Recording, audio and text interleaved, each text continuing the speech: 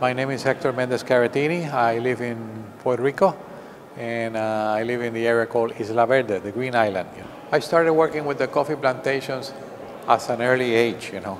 Uh, say, for example, my, my maternal grandfather had a coffee plantation and I used to go there since I was, you know, four years old. So in a way, it's something that's in uh, a tribute to my ancestors. Okay, the work we're looking at is called Haciendas Cafetaleras de Puerto Rico, which is in English is Coffee Plantations of Puerto Rico. It was a series I began in the late 80s, uh, like 89, 90, 91, you know, and it documents about 36 different coffee plantations in the interior of the island of Puerto Rico. Uh, on the four photographs we have here, uh, the first one on the top on the left is the interior of the house of Francisco Yush Mora.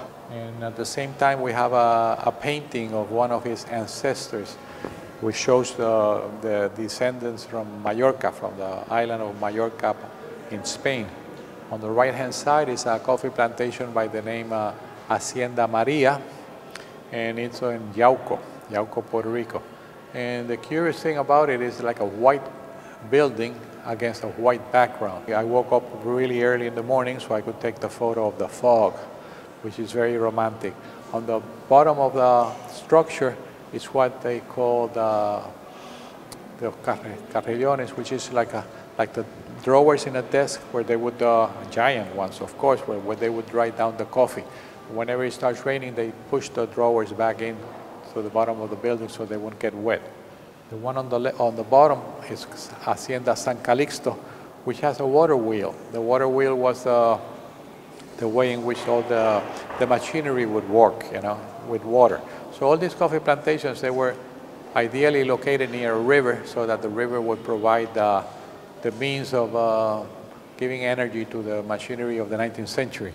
And then the, the coffee beans are ready to be exported on the bottom part of the, of the exhibit uh, shows you that the quality of the coffee was so good that it got exported to Europe.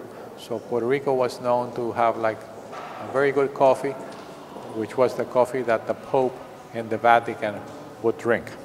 My name is Annalee Davis. I am from Barbados and I live and work in Barbados. The title of the piece is Sweet Island Cookie Cutters, Sweet for So.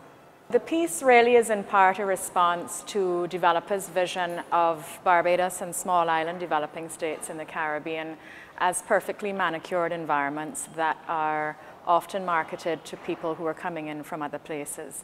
So it's presented in a kind of a very sterile sort of way.